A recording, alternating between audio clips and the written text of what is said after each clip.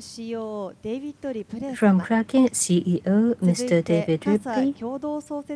CASA co-founder, CTO, Mr. Jameson Lopp. Last but not least, our moderator from Georgetown University, research professor Matsuo Shinichiro. Professor Matsuo. I will hand over the microphone to Matsuo-san. Thank you. The topic of this panel discussion is on the security of custodian. So you know that in Japan, there are many uh, mega breach if, uh, from 2017 happened. Then that for Japanese uh, blockchain uh, persons, so security of custodian is a big issue. And I'd like to have that 40 minutes panel discussion on the uh, how to securing uh, cryptocurrency exchange and custody. So here, so we use the word of custody instead of cryptocurrency exchange. And uh, anyway, so let, ha- let us have a great discussion upcoming for the 40 minutes.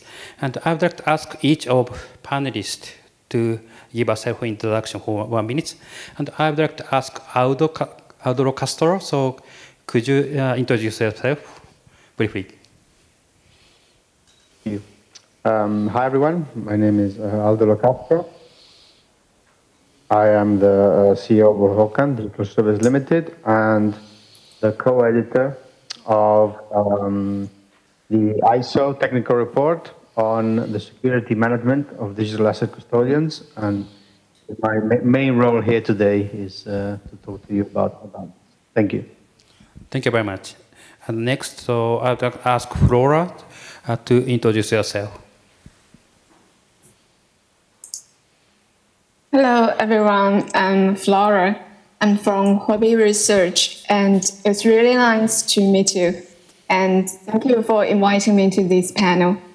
Um, Huobi was set up in 2013 uh, in China, and it has been seven years. We are dedicated in cryptocurrency area. Um, besides the exchange business, we also have Huobi Wallet, Huobi Pool, Huobi Chat, Huobi Labs, Huobi College, and Huobi Research. And I'm from the Huobi Research. We are focused on the research of blockchain technology, application, and industry development. Yeah, that's all. Thank you. Thank you very much. And next is David. So could you introduce yourself? Hi, pleased to be here with all of you today, uh, virtually at least. Uh, Chief Operating Officer with Kraken Digital Asset Exchange. Uh, Kraken's one of the, the earliest and, and largest um, cryptocurrency exchanges, digital asset exchanges, uh, really in the world, um, operating across the majority of the countries uh, out there. Um, myself, as I mentioned, I'm Chief Operating Officer with the, the firm. A little bit bit of background on myself. I previously founded a company, Glidera, in the uh, cryptocurrency industry. That was acquired by Kraken in 2016. I uh, joined the firm at, at that time as COO. Uh, previous to that, uh, by training, I'm an engineer, so I spent some time as a software engineer and product manager, and uh, then also spent some time at the, the Boston Consulting Group as a, a strategy consultant following my uh, time at, uh, achieving my MBA at uh, Kellogg School of Management at Northwestern University. Thank you very much. And last, so I'd like to Jameson Lopp to introduce yourself. Hi, thank you. I've been working in the Bitcoin and crypto security space for about five years. I spent three years building infrastructure at BitGo, doing multi sig enterprise security.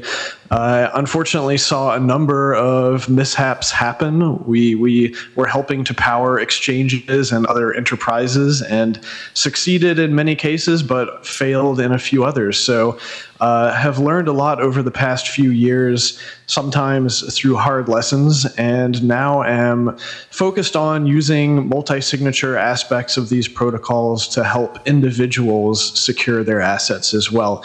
So, in addition to working uh, on building these platforms for security, I also serve on an advisory capacity to the cryptocurrency consortium helping to work on standards and uh, ability for us to create auditors and examinations and certifications to really build on top of the existing ISO uh, certification process, but with a, a, more specific focus on the crypto asset space. So we certainly still have a lot of learning left to do, and uh, it's very exciting to be here. Thank you very much. But anyway, so so you look so mysterious. Where are you? Somewhere on the internet. Thank you very much. And uh, so today, uh, during today's so discussion, I prepared three questions. But uh, so I would like to start with the first one. And uh, the first one is uh, what is the role of the custody in blockchain ecosystem? So we need to have a common understanding. So what the digital asset custody or crypto asset custody is. And I'd like to ask Flora first. And so what is the role of custody in this ecosystem? Thank you. Thank you for your question. Um, I think custody service is an inevitable option for the development of blockchain ecosystem. Um, the main utility of cryptocurrency custody lies in the safeguarding of cryptocurrency assets. Uh, private keys, which are used to conduct transactions or access crypto holdings, are a complex combination of alphanumerics, numerics, and they are extremely difficult to remember and can be stolen or hacked. So we need a professional institution to help us keep our safe asset safety. Um, the other important reason for the uh, existence of cryptocurrencies custody solution is regulation. Um, according to American SEC regulation, um, promulgated as part of the Dodd-Frank Act, institutional investors that have customer assets worth more than uh, $150,000 are required to store the holdings with a qualified custodian. The SEC's definition of such entities includes banks and savings associations and registered broker dealers, uh, future commission merchants, and foreign financial institutions are also included in this definition. So digital custody business is a very important part to attract more investors and institutions to set foot in this cryptocurrency industry. So we do attach importance to this area. Um, and we have already provided brokerage service for institutions and high net worth individuals, and also taking care of customers' assets is one of our service. Um, besides, besides in Japan, we have acquired a DLT license, that is distributed ledger technology uh, in Gibraltar, which is a banking level KYC AML standard to ensure a secure trading environment. And we can, and this can allow us to do custody business. And besides that, we are also working on other countries' license or permissions. Mm, uh, although I can't share too much information about the unpublished products, but what I want to emphasize is that we will provide more financial products and custody service under regulation in the future. Thank you. Thank you very much. And uh, I would like to ask the same question to David.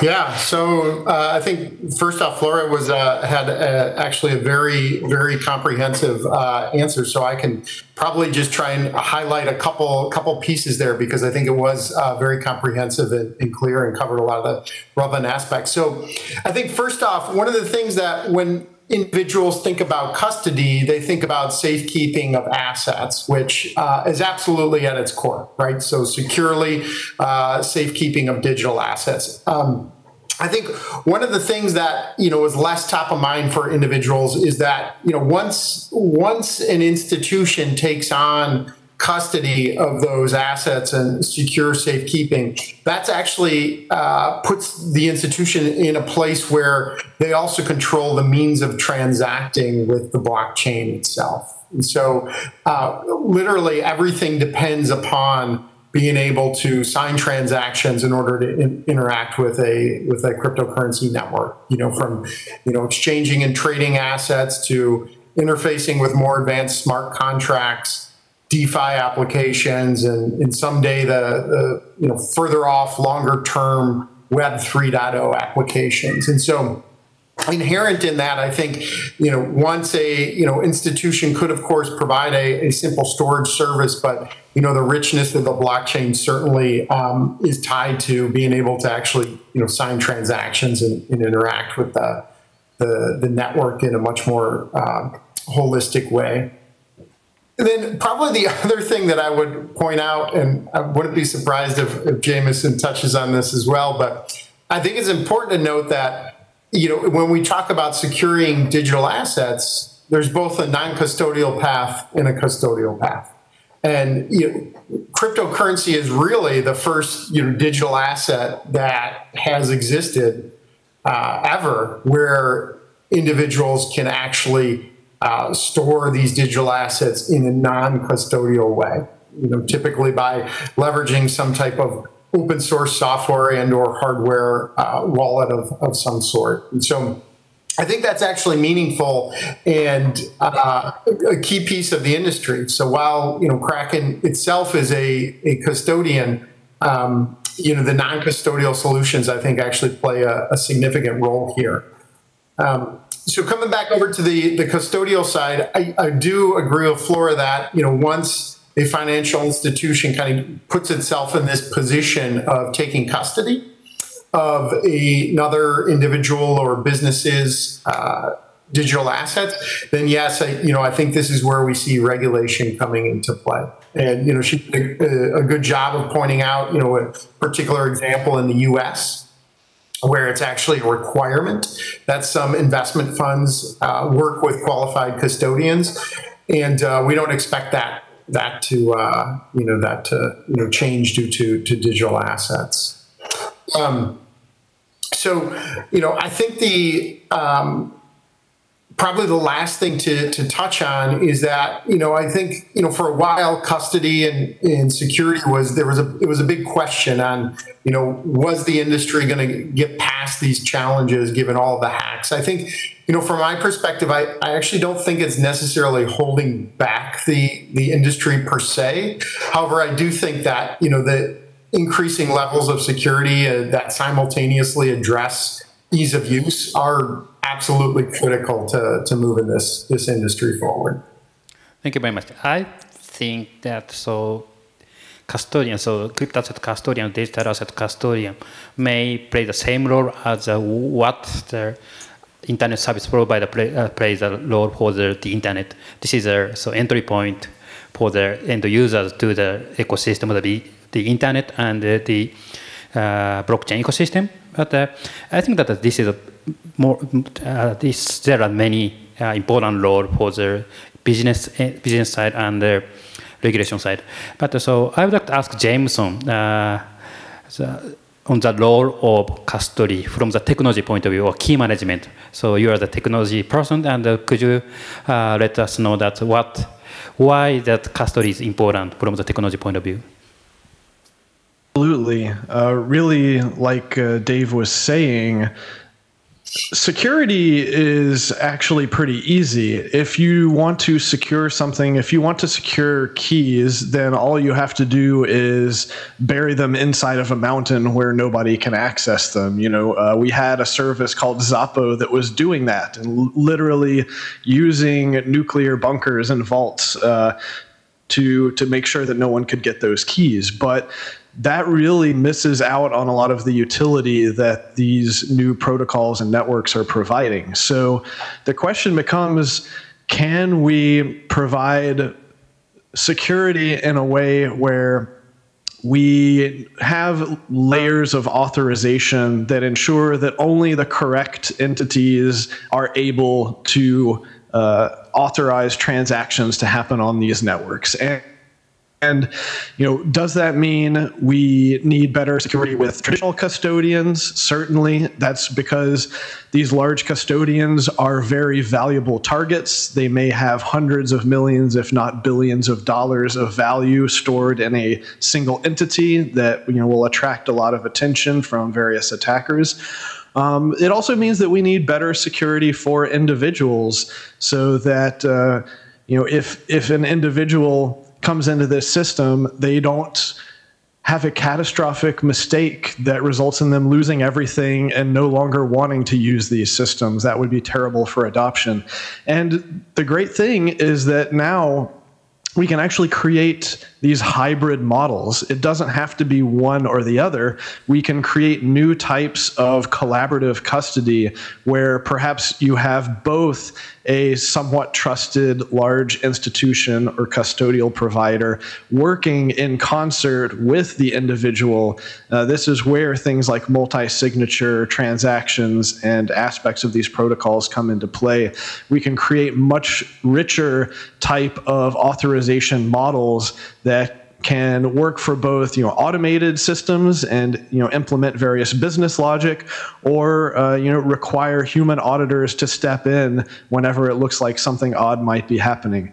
So it's it's really uh, our game to lose if we don't innovate in this space and create new types of custody that haven't really been seen before. Thank you very much. That's uh, interesting uh, view that I would like to jump in that uh, detailed discussion on the how we how to securing that custody.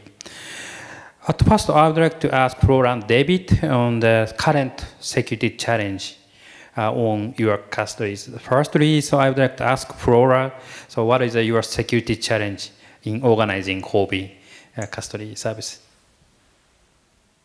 Okay, thank you for the question. Um, I think security is the most important thing to our business. And I'm proud to say that Huobi is safe running for seven years. Our customer never lose a penny. To achieve this, we have the most professional security team. And this team is one of our biggest departments in our company.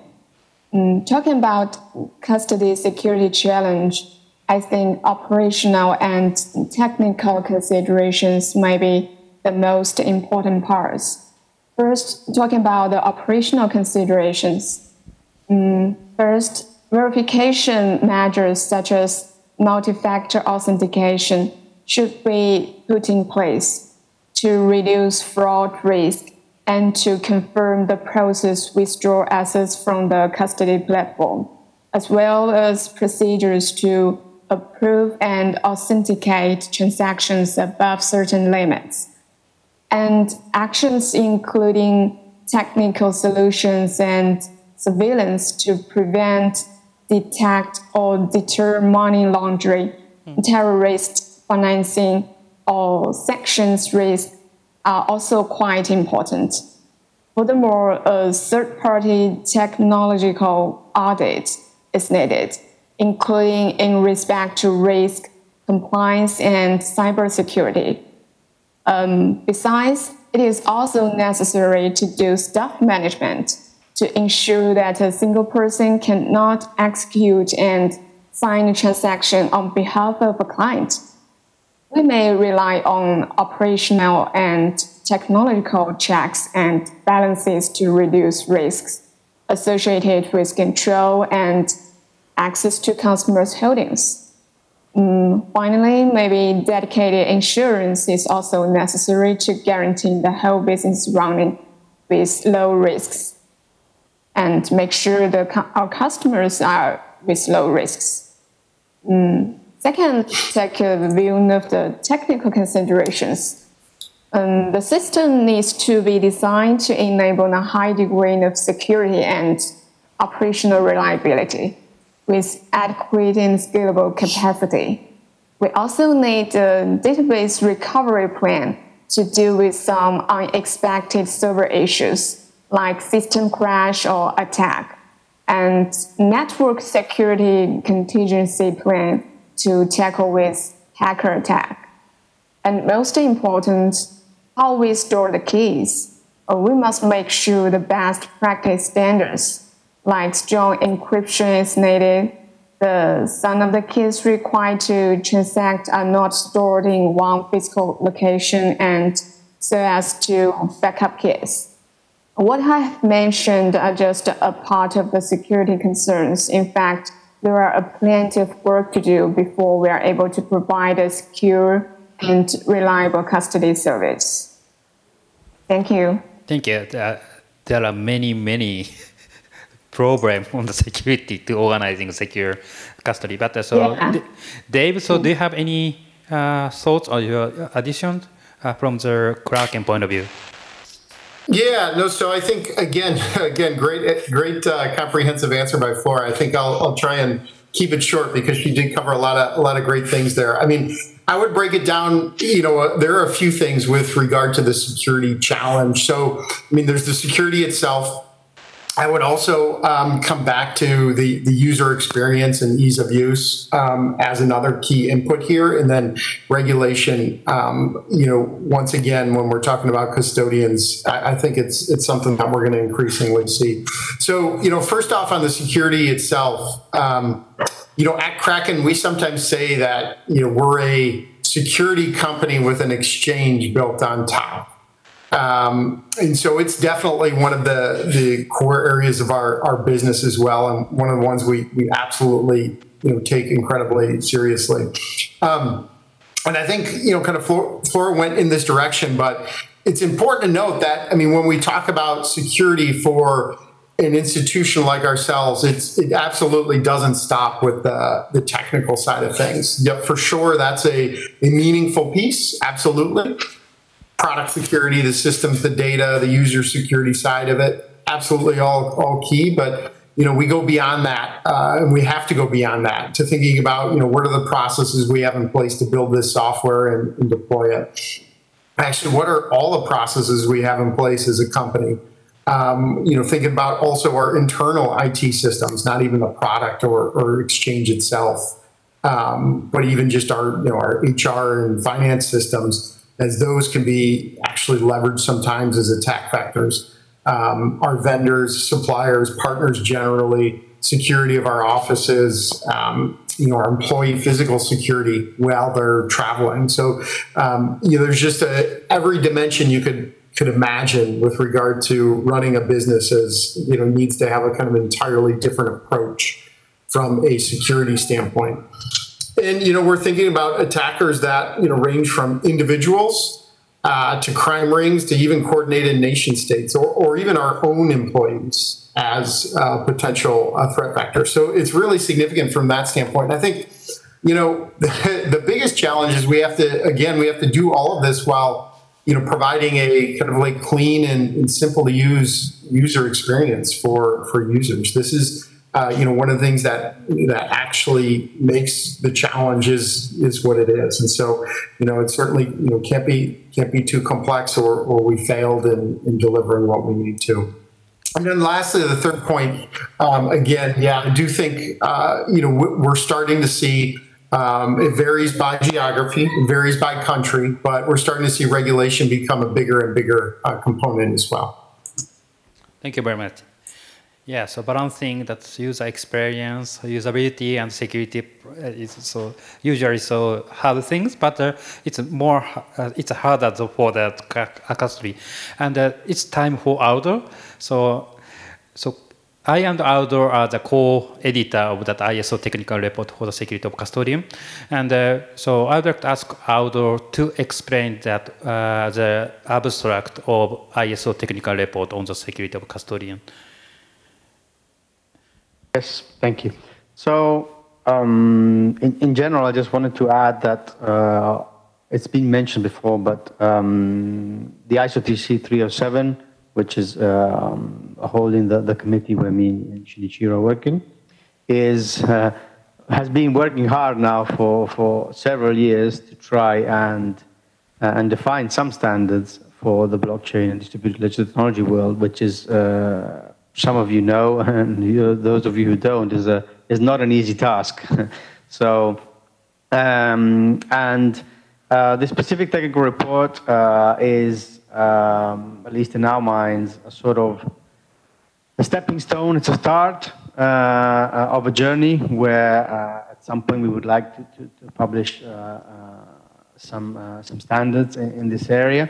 Um, so the technical report focuses on uh, on uh, sort of the management uh, issues of um, that that custodians that, that have been mentioned uh, up to now um, face and the challenges they face, the risks. Uh, it sort of uh, has a sort of um, sort of snapshot view of um, the, the, current situation, where we are at, um, showing with specific focus on, uh, of course, on, on, the, the custody of, of digital assets. So uh, the particularities that this uh, this uh, sort of um, category has, uh, which of course focuses a lot on key management, as we all know. The management of keys for digital assets is is one of the main one of the main aspects, um, and so it talks basically about. Um, the risks, the threats, and the measures uh, which need to be put in place uh, by uh, by custodians to sort of uh, mitigate and and and and um, shows a bit of the best practices that have been done and that are used in, the industry up to now. Uh, so the, uh, as, I, as I mentioned before, um, a technical report is a um, not itself a, a, standard, but it's a, it's a, it's a stepping stone, I would say uh, to get there. Um, so we are we are quite happy that we're we're very close now uh, to uh, for it to be published. So fingers crossed, soon we should have uh, this published by ISO, uh, which I think is an is an important milestone. Thank you. And uh, so good news, good news is that this technical report will be published probably next month. And so we are now call, calling for the next revision. So we are now calling for contribution for the next revision. So, so I'd like to ask so everyone in the in this in this planet to provide some contribution for the next revision of this technical report. And uh, so the last question in this part is for Jameson. So there are many many uh, security problem here, but also I believe that also technology can help enhance the security of custodian. So what is your view or what is your proposal to use technology to help securing the, the custodian?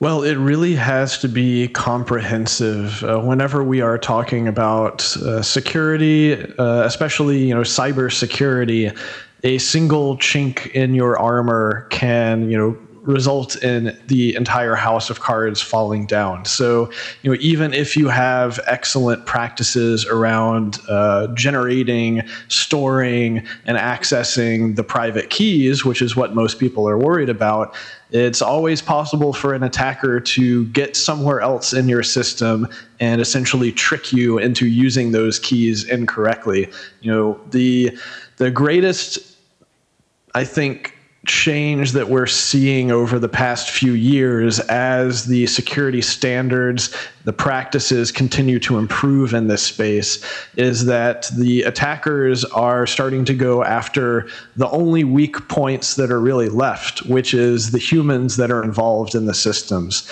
So, you know, we can create better hardware, better software uh, to help secure these keys, but I think ultimately what it's all going to come down to is processes and making sure that you know every single human that is involved in the process is not a sole actor, you know, that they have other people who are checking on them and making sure that no mistakes are happening and that no uh, insiders are essentially turning malicious or being tricked somehow.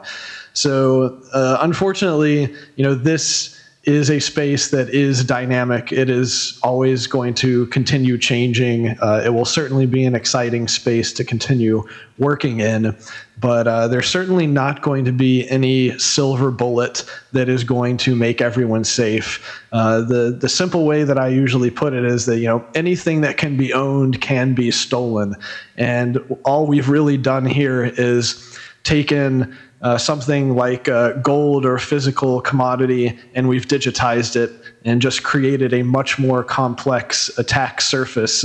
You know, we get a lot of great uh, utility as a result of the properties of these digital assets, but we've also created a whole slew of new problems for us to think about because they can be taken as easily as they can be uh, leveraged by their owners. So it's uh, it's going to require a lot of collaboration, and it's going to require, uh, I think, a lot more hard lessons of of people unfortunately losing access to their keys or, or getting the keys used without their permission. But every every loss, every uh, every bad news event is uh, a learning experience. And I, I, do believe that we will continue to harden the system as long as we continue, you know, collaborating, working with each other to do so.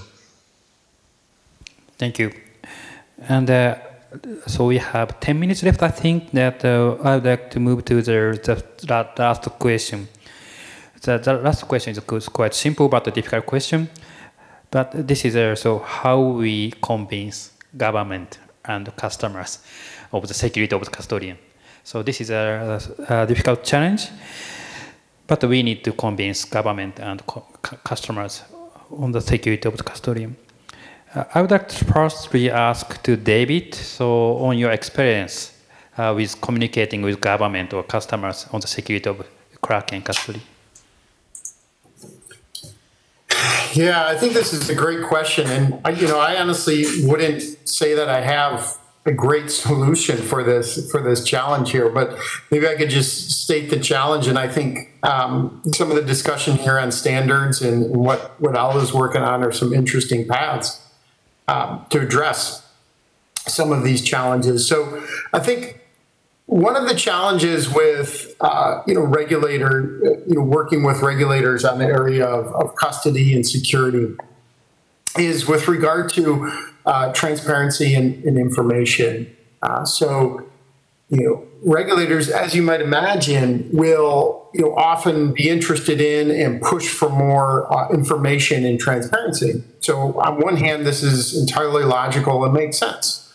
Um, that they would, you know, how else will they, you know, kind of ensure compliance uh, with, you know, requisite regulations and so forth.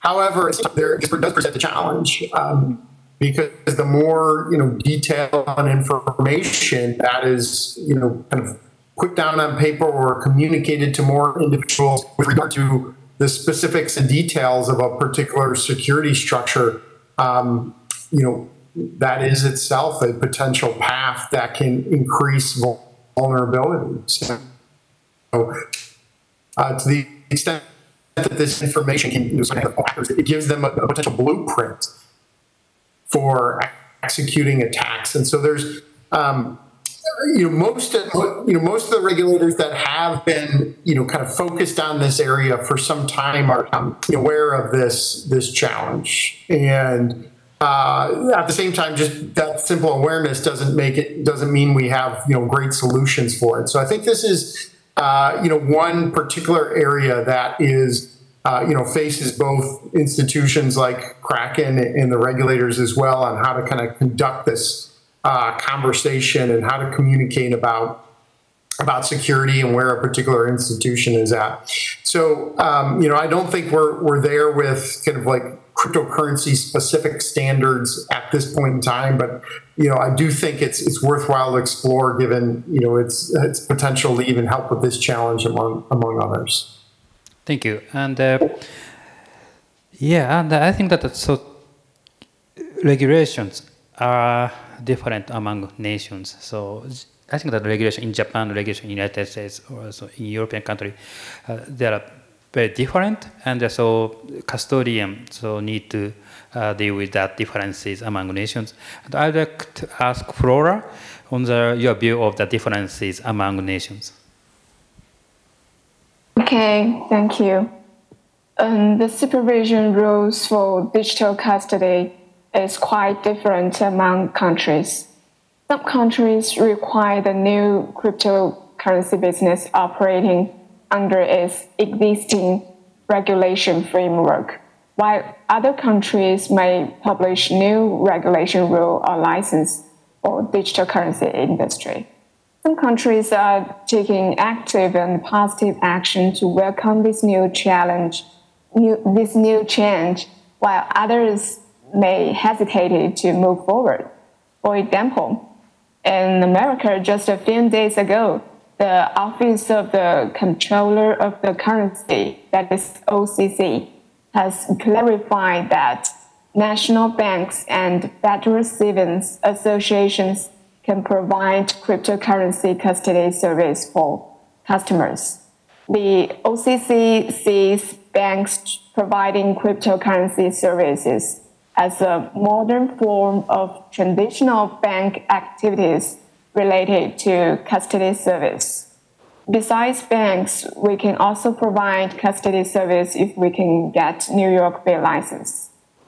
Um, um, others like Gibraltar and Bermuda could represent the countries who owns active and positive attitude. They have both published some policies and licenses, especially for digital currency or virtual currency, like DLT license in Gibraltar. It allows assets transfer and storage through distributed ledger technology, which means it allows cryptocurrency custody and exchange business. And the Bermuda Monetary Authority has published Virtual Currency Business Act in 2018 company could apply for its Class F and Class M license to operate cryptocurrency custody and exchange business.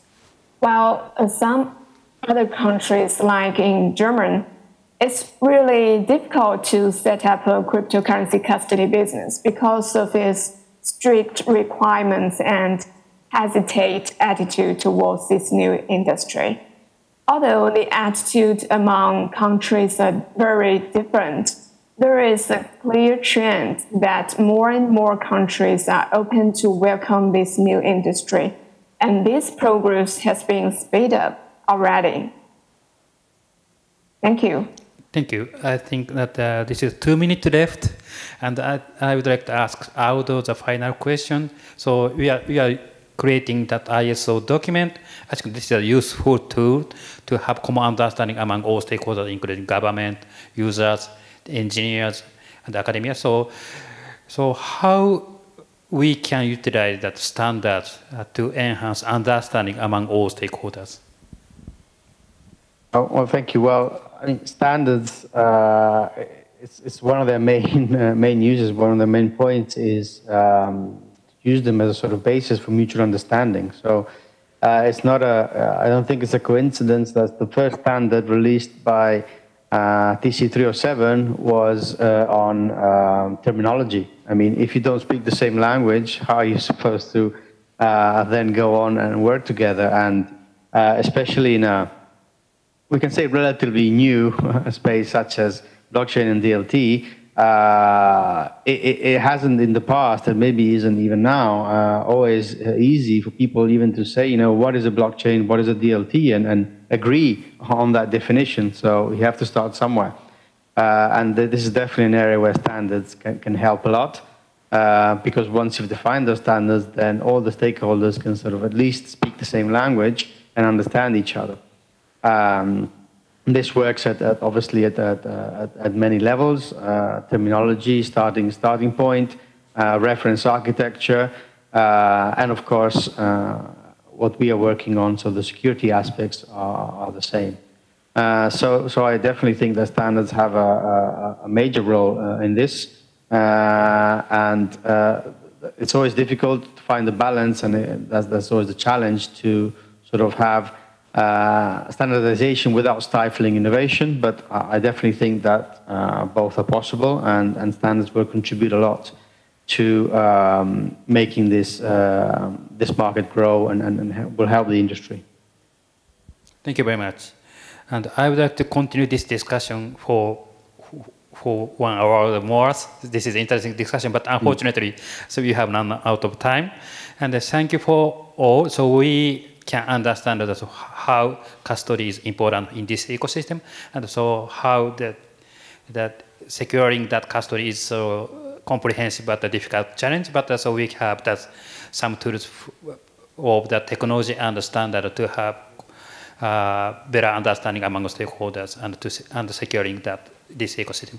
Thank you very much for joining today's discussion, and I, I hope that all of you and everyone staying safe and and uh, so thank you for joining today. Thank you. Thank you. Thank you very much. Thank you. Okay, thank you for the wonderful discussion. 以上をもちましてデジタルカストディ問題の打開策セキュリティ This concludes the session on breakthrough for safer digital custody, security and regulation. Mr. Castro, or Ms. Lee, Mr. Ripley, Mr. Lop, and Professor Matsuo, thank you very much. Once again, please give them a big round of applause. Thank you very much.